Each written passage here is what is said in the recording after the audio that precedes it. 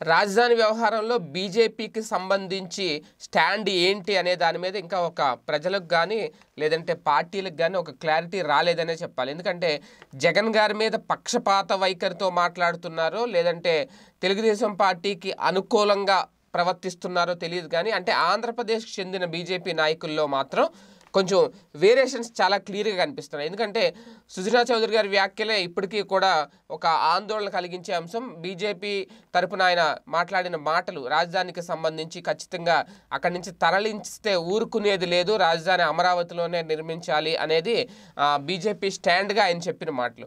అదే జీవీఎల్ లాంటి వాళ్ళు బీజేపీ తరపున చెప్పిన మాటలు ఏంటంటే అది ఖచ్చితంగా ఖచ్చితంగా రాష్ట్ర ప్రభుత్వ పరిధిలోని అంశం కాబట్టి కేంద్ర ప్రభుత్వం జోక్యం చేసుకోదు. అనేది.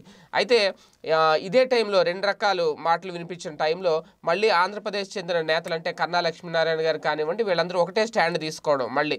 అంటే ఆయన మౌన దీక్షలు చేయడం కన్నా లక్ష్మీనారాయణ గారు ఈయనేమో వ్యతిరేకించడం అలాగే రకరకాలుగా ఇదంతా కూడా రాష్ట్రాలు అంటే రాజధానుల మార్పులు అనేది రాష్ట్రాల అంతర్గత వ్యవహారం. ఇది అందరికీ తెలిసిందే. ఇందులో కేంద్రం జోక్యం చేసుకోదని చెప్పి కిషన్ రెడ్డి గారు కూడా ఇప్పుడు ప్రస్తుతం కేంద్ర సహాయ శాఖ మంత్రిగా ఉన్న తెలంగాణకు చెందిన కిషన్ రెడ్డి గారు కూడా చాలా క్లియర్గా స్పష్టం చేశారు. అయితే ఎంత స్పష్టమైన ప్రకటన చేసినా సరే బీజేపీ నేతలు మాత్రం ఎక్కడా తగ్గట్లేదు. ఆంధ్రప్రదేశ్ బీజేపీ నేతలు మాత్రం. వాళ్ళ స్టాండ్ వాళ్ళే. ఖచ్చితంగా రాజ్యాన్ని వ్యతి రాజధానిని వ్యతిరేకిస్తున్నారు. విశాఖలో రాజధాని పెట్టడాన్ని అలాగే జగన్ ప్రభుత్వం మీద విమర్శలు చేయడం అనేది మాత్రం వాళ్ళు ఎక్కడ తగ్గట్లేదు. అంటే కన్నా లక్ష్మీనారాయణ గారు అలాగే సుజనా చౌదరి ఇతర బీజేపీ రాష్ట్ర నేతలందరూ కూడా జగన్ సర్కార్ నిర్ణయాలు వ్యతిరేకిస్తూ రాజధాని రైతులతో కలిసి రాజకీయాలు చేస్తున్నారు అనేది ఇప్పుడు వైసీపీ విమర్శ. ఇలాంటి టైంలో టీడీపీకి సపోర్ట్గా వీళ్ళ రాజకీయాలు మొదలుపెట్టారు అనేది కూడా వైసీపీ శ్రేణులు గట్టిగా నమ్ముతున్నారు. వాళ్ళ వాదన కూడా వినిపిస్తున్నారు. అయితే ఇక్కడ పాయింట్ ఏంటంటే కేంద్ర మంత్రి కిషన్ రెడ్డి గారు క్లియర్గా చెప్పారు ఇది రాష్ట్ర రాజధానికి సంబంధించి రాష్ట్ర ప్రభుత్వ పరిధిలోని అంశం ఇది. వాళ్ళు నిర్ణయాలు తీసుకుంటారు అనేది. అలాగే దీని మీద మోడీ గారు ఏం మాట్లాడలేదు కేంద్ర హోంమంత్రి అమిత్ షా గారు ఏం మాట్లాడలేదు వాళ్ళు మౌనంగా ఉన్నారు. వాళ్ళు వ్యతిరేకించింది ఏం లేదు ఇంకా.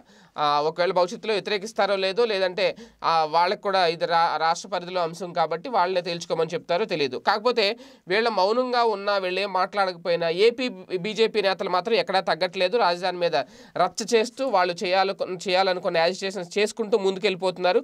మరి వీళ్ళ దూకుడికి కళ్ళం పడాలంటే మరి ఏం జరుగుద్ది ఏంటి? ఎందుకంటే రేపు పొద్దున మున్సిపల్ ఎన్నికలు ఉన్నాయి కాబట్టి అప్పుడు అందరూ పోటీ పడతారు.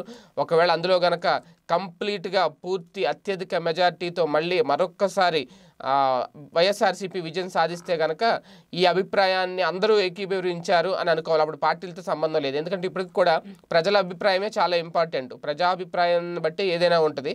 అలాగని ప్రభుత్వం నిర్ణయం తీసుకోవడం మానేస్తుందా అంటే ప్రభుత్వం తీసుకున్న నిర్ణయంతోనే ప్రభుత్వం ముందుకెళ్తుంది. ఎందుకంటే రాష్ట్ర అభివృద్ధికి సంబంధించి రాష్ట్రాన్ని అభివృద్ధి బాటలో సంక్షేమ పదంలో ముందుకు తీసుకెళ్ళే బాధ్యత ప్రభుత్వం మీద ఉంది కాబట్టి అందుకు అనుగుణంగా ఖర్చు తగ్గించే పనిలో ఎలాంటి నిర్ణయం అయినా తీసుకునే అధికారం ఎలాంటి నిర్ణయం అయినా తీసుకునే బాధ్యత రాష్ట్ర ప్రభుత్వం మీద ఉంది. సో ఆ బాధ్యతలో భాగంగా తీసుకుంటుంది కాబట్టి ఆ నిర్ణయం ఎలాంటిదైనా ప్రజలు స్వాగతిస్తారా లేదా?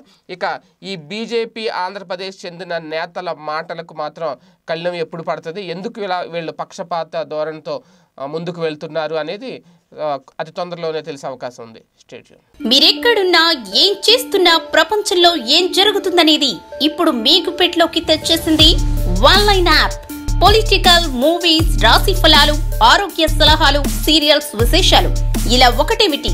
బోలెడన్ని విశేషాలను మినిట్ టు మినిట్ మీకు అందిస్తుంది one line app. So late ఎందుకు? డిస్క్రిప్షన్లో ఉన్న లింక్ ద్వారా వన్ లైన్ యాప్ డౌన్లోడ్ చేసుకోండి. One line it's for every